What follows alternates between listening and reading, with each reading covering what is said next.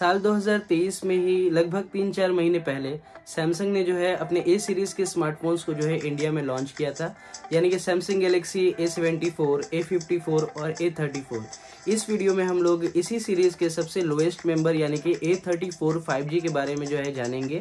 क्योंकि फ़िलहाल फ्लिपकार्ट ये डिवाइस जो है तीस हज़ार से कम की प्राइस में अवेलेबल है। तो क्या अभी इस स्मार्टफ़ोन को जो है इस प्राइस पे लेना सही होगा? चलिए इस वीडियो में हम लोग जान ही लेंगे। सभी स्पेक्स के बारे में जो है डिस्कस करने की यहाँ पे मैं कोशिश करूँगा। तो आप जो है वीडियो को एंड तक ज़रूर देखें। अपना लव और सपोर्ट जो है इसी तरह बनाए रखिए। चैनल पे नए हैं दोस्तों तो सब्सक्राइब ज़रूर करते हुए जाइए। Thank you very much design और बिल्ड क्वालिटी की बात कर लेते हैं सबसे पहले तो ये एक वेल बिल्ट डिवाइस है। बैक साइड जो है प्लास्टिक की बनी हुई है। इवन फ्रेम्स भी जो है प्लास्टिक के ही बने हुए हैं। पॉप आउट कैमरा डिज़ाइन देखने को मिलता है बिल्कुल एस सीरीज़ की तरह। फ्रंट पे जो है गोरिल्ला ग्लास 5 की यहाँ पे प्रोटेक्शन आपको देखने को मिलेगी। वायरलेस चार्जिंग का जो है सपोर्ट देखने को नहीं मिलेगा बट अच्छी बात यह है कि IP67 की जो है रेटिंग आपको देखने को मिल जाती है डस्ट एंड वाटर रेजिस्टेंस की। ये डिवाइस जो है काफ़ी बड़ा है और इसके अंदर जो है काफ़ी बड़ी बैटरी भी दी हुई है। यही रीजन है कि ये बिल्कुल भी हल्का फील नहीं होता है ऑलमोस्ट 199 ग्राम्स का है। काफ़ी अच्छी क्वालिटी के जो है स्टेरियो स्पीकर्स भी दिए गए हैं which are definitely very loud to be honest USB C 2.0 की चार्जिंग स्पीड्स आपको देखने को मिलेगी और 10 से ज़्यादा 5G बैंड्स जो है देखने को मिलेंगे इंडिया में with a hybrid SIM slot चार औसम कलर्स में ये अवेलेबल है वायलेट ब्लैक सिल्वर और लाइम अब डिस्प्ले की बात कर लेते हैं दोस्तों तो यहाँ आपको 6.6 इंचेस की एक 1080p सुपर एमोलेड डिस्प्ले देखने को मिलती है। 120 ट्वेंटी की फास्ट रिफ्रेश रेट भी दी गई है और पीक ब्राइटनेस जो है वो 1000 थाउज़ेंड निट्स तक की यहाँ पे आपको दी गई है। डिस्प्ले पैनल जो है काफ़ी ज़्यादा कॉन्ट्रास्टी है और काफ़ी ज़्यादा शार्प है। टिपिकल एक सैमसंग का डिस्प्ले है। कलर्स जो है काफ़ी अच्छे निकल कर आते हैं ऑल दो का सपोर्ट यहाँ आपको देखने को नहीं मिलता है। डिस्प्ले का जो है एस्पेक्ट रेशियो तो काफ़ी अच्छा है। साइड में बेजल्स भी जो है आपको कम देखने को मिलते हैं।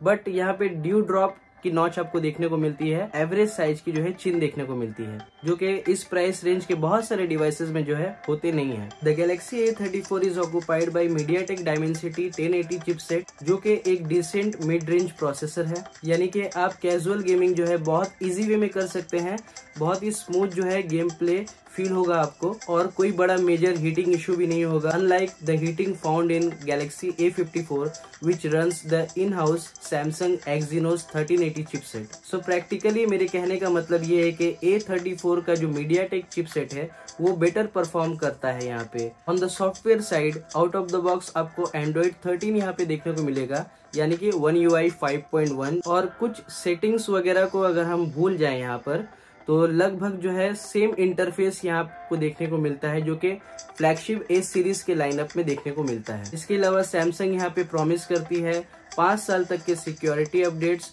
और चार साल तक के मेजर ओएस अपडेट्स का which is a quite nice thing for mid range device RAM और स्टोरेज की बात करें दोस्तों तो यहाँ आपको L P D D R four X की रैम देखने को मिलती है और U F S two point one की स्टोरेज देखने को मिलती है।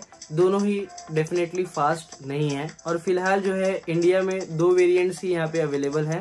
Eight GB RAM one twenty eight GB internal storage या फिर eight GB RAM two fifty six GB internal storage storage को आप वन टेराबाइट तक जो है एक्सपेंड कर सकते हैं। इस डिवाइस में आपको ट्रिपल कैमरा स्लॉट देखने को मिलता है। 48 मेगापिक्सल का जो है मेन कैमरा है। मेन कैमरा से जितने भी फ़ोटोज़ निकल कर आते हैं, काफ़ी हाई कॉन्ट्रास्टी होते हैं। इसके अलावा काफ़ी सेचुरेटेड कलर्स और रिजनेबल डायनेमिक रेंज भी होते हैं फ़ोटोज़ में। हालाँकि इस डिवाइस में कोई भी डेप्थ सेंसर दिया हुआ नहीं है बट फिर भी पोर्ट्रेट्स जो है वो काफ़ी अच्छे आते हैं। 8 मेगापिक्सल का जो है अल्ट्रा वाइड लेंस है, जो कि 123 डिग्री की फ़ील्ड ऑफ़ व्यू के साथ आता है।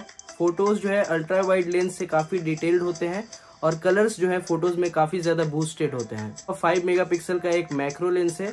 कह सकता हूँ कि ओकेश है और फ़ोटोज़ में जो है काफ़ी पॉपिंग कलर्स जो है देखने को मिलते हैं। नाइट मोड यानी कि नाइट टाइम के जो शॉर्ट्स हैं, वो भी यूजेबल हैं। अब सेल्फी कैमरा की बात करते हैं दोस्तों तो 13 मेगापिक्सल की जो है सेल्फी दी हुई है और सेल्फीज दोस्तों बहुत ही अच्छे निकल कर आते हैं। मतलब कि स्किन टोन में काफ़ी अच्छा काम किया गया है यहाँ पे। हाई कॉन्ट्रास्ट तो रहता ही है बट डायनेमिक रेंज भी काफ़ी हद तक जो है बैलेंस रहता है। तो वीडियो रिकॉर्डिंग की बात करें दोस्तों तो फ्रंट और बैक दोनों कैमरा से आप 4K अप टू 30 एपीएस तक वीडियो रिकॉर्ड कर सकते हैं। बट अगर आपको EIS ऑन चाहिए तो 1080p में आपको वीडियो रिकॉर्ड करनी होगी। नाइट टाइम की वीडियोस की बात करें तो काफ़ी ज़्यादा डार्क आते हैं सभी वीडियोस और बहुत ज़्यादा नॉइज़ भी रहती है वीडियोस में। सो कैमरा सिस्टम कह सकता हूँ कि डिसेंट है। अदर स्पेक्स की बात करें दोस्तों तो वाईफाई 6 का सपोर्ट है Bluetooth 5.3 NFC Samsung Pay region के हिसाब से उन सभी चीज़ों का सपोर्ट यहाँ पे आपको दिया हुआ है। और बायोमेट्रिक सिक्योरिटी के लिए जो है under display optical fingerprint scanner दिया हुआ है। ठीक तरीके से काम करता है।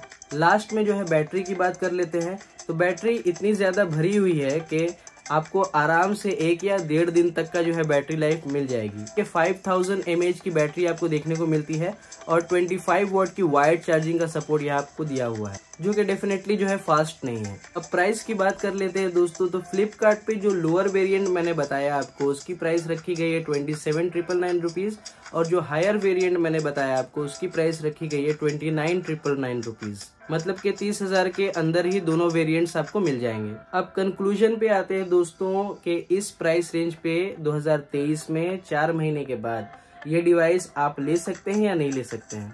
So गाइज़ मेरे हिसाब से ये एक काफ़ी सॉलिड मिड रेंजर डिवाइस है। एक दो स्पेक्स जो है वो मिसिंग है इस डिवाइस में, मैं मान सकता हूँ। बट बहुत सारे स्पेक्स अवेलेबल भी है, जो कि तीस हज़ार से कम के डिवाइसेस में देखने को नहीं मिलते हैं। अगर आप कंपटीशन की तरफ़ जाएँगे तो आपको बहुत सारे अदर डिवाइसेस भी मिल जाएँगे अदर ब्रांड्स के। फॉर एग्जांपल पिक्सल सिक्स है नथिंग फ़ोन वन बट अगर आप एक सैमसंग लवर है तो डेफिनेटली ये फ़ोन आपको खरीदना चाहिए। Because it is a well rounded mid ranger and is definitely worth recommending so guys आज के लिए इस वीडियो में इतना ही। आई होप कि आपको ये वीडियो पसंद आया होगा। पसंद आया दोस्तों तो लाइक और शेयर ज़रूर करें, और चैनल को जो है सपोर्ट ज़रूर करें सब्सक्राइब ज़रूर करते हुए जाए। मैं मिलता हूँ आपसे अपने नेक्स्ट वीडियो में तब तक के लिए दोस्तों पीस